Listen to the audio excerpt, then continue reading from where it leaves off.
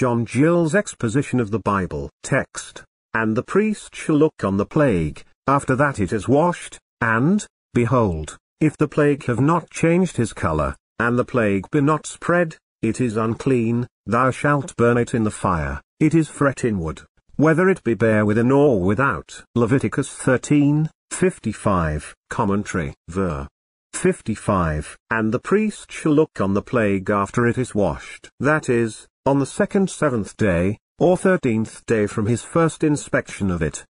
And, behold, if, the plague has not changed its color, and the plague be not spread, it, is, unclean, thou shalt burn it in the fire, if it remains just as it was at first, very green or very red, and has not diminished of its color at all, nor changed from one color to another, although it should not have spread itself, yet it is defiled, and to be burnt without the camp, as before, that which spreads itself here and there, it is to be burned.